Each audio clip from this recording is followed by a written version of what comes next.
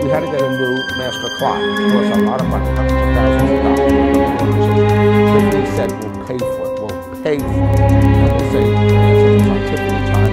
All they wanted was one half of that room for like an exhibit for one day. It doesn't cost us a penny. It's there, isn't it? Exactly. Isn't it? Right? We got hundred thousand. Nobody could figure out why they'd want to do that. Welcome to the government.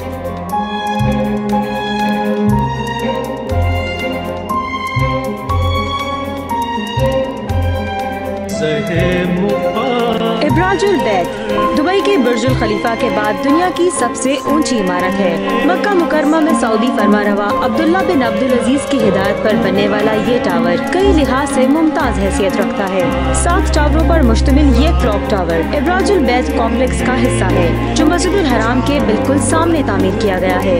पचानवे मंजिलों पर मुश्तमिल इस clock tower की ऊंचाई 601 metre है।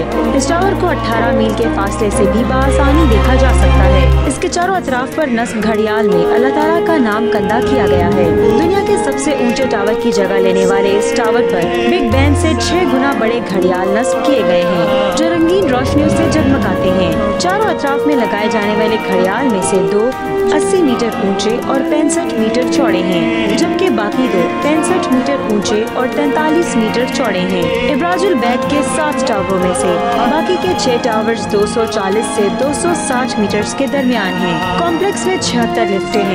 और इसमें एक लाख के करीब लोगों के लिए कारोबार करने और रिहाइश रखने की सहूलत मैसर है। इसमें मौजूद इक्कीस हज़ार लाइट नमाज़ के औकात के बारे में आगाह करती है। ईद और दीगर अहम मौके आरोप टावर ऐसी तीस किलोमीटर ऊँची रोशनी निकलेगी।